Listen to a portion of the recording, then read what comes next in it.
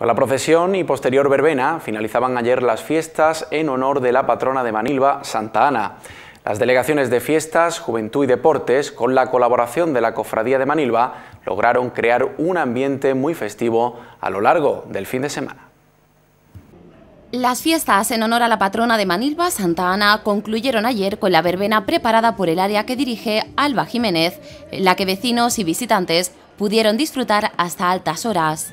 Pero las actividades en honor a esta venerada imagen comenzaron un día antes con la elección de las reinas y damas en la explanada del pabellón de usos múltiples de Manilva. Este año se retomó una tradición que había quedado olvidada, pero que la cofradía de Manilva ha querido recuperar con el fin de que nuestras costumbres sigan adelante.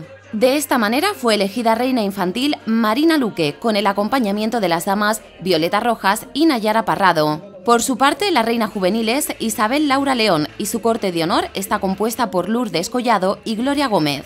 Tras la coronación, la fiesta continuó hasta bien entrada la madrugada gracias a una velada organizada por Espectáculos Mulet y Bar de Copas Morey, con la colaboración del área de juventud del Ayuntamiento de Manilva. El domingo amaneció festivo en el núcleo con pasacalles que anunciaban los festejos de la jornada. Los juegos infantiles llenaron de risas de los más pequeños la calle Mar y todos pudieron disfrutar de las distintas actividades preparadas para tan importante ocasión. Ya por la tarde, la Santa Misa y posterior procesión de Santa Ana por las principales calles de la localidad, seguida de sus fieles, dejaban los momentos más emotivos de esta celebración.